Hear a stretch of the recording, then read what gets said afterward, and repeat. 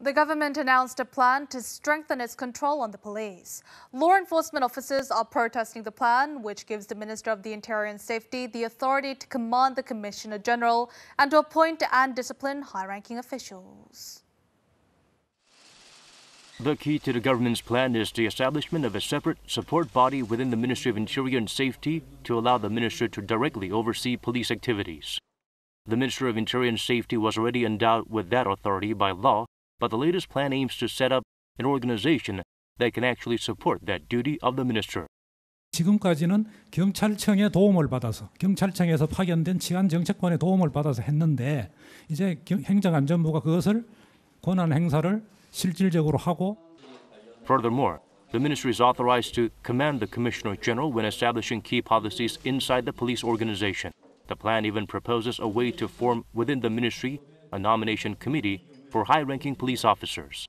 The minister stands to have the right to demand disciplinary actions on the Commissioner General as well. An advisory committee on the police system improvement led by the Vice Minister of the Interior and Safety is to make recommendations.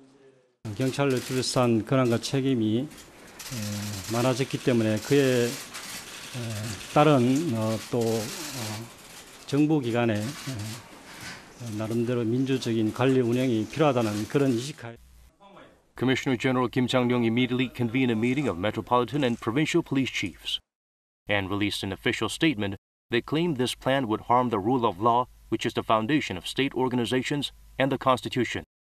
It is reported that local police chiefs at the two-hour meeting grew quite indignant, even demanding the impeachment of the Minister of the Interior and Safety. Lower-ranking officers also collectively protested the plan.